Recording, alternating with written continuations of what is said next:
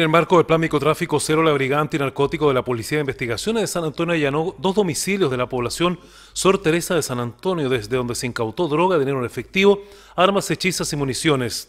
En total, hubo siete personas detenidas, entre ellos dos menores de edad.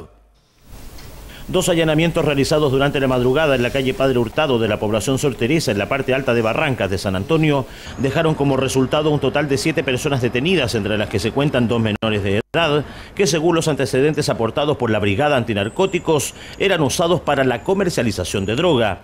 Así lo explicó el comisario Luis Díaz, jefe de la unidad de narcóticos de la PDI de San Antonio. Después de un largo tiempo, un par de de meses investigando, se logró la detención de siete personas en dos domicilios, eh, que llevan más de un año eh, vendiendo diferentes tipos de drogas en pequeñas cantidades. Eh, había cuatro hombres, uno quedó en libertad, apercibido el artículo 26, y dos mujeres. Dentro del grupo de siete personas habían dos menores de edad que también pasaron a, control de detención. y eso es lo, lo relevante en este tema, el hecho de que eh, este grupo de personas, los adultos, utilizaban estos menores para, para trabajar, eh, tanto en la venta como en la dosificación de las dosis. Se encontró eh, alrededor de 50 gramos de cocaína base y 50 gramos de cannabis sativa. uno podría decir hoy una cantidad bastante poca de droga. Sí, pero la cantidad de dinero que se encontró, más de 400 mil pesos, eso es un indicio claro de la cantidad de venta, el volumen de venta que tenían ellos. Entre los detenidos figura una mujer de 27 años de iniciales MCMM, sobre quien pesaban además dos órdenes de detención vigentes por el delito de tráfico de drogas.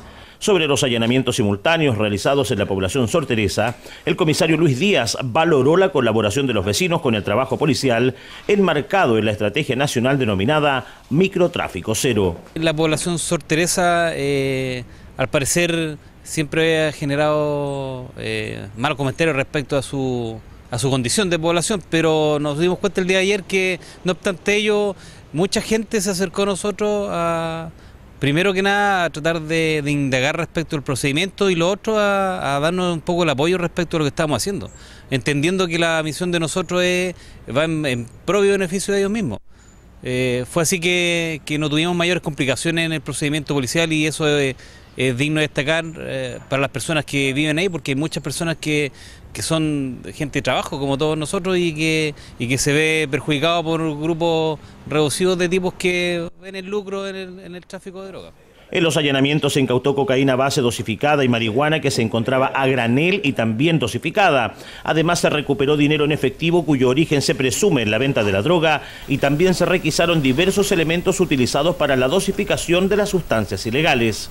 Entre los elementos incautados por los detectives de la Brigada Antinarcóticos también se cuentan estoques y municiones.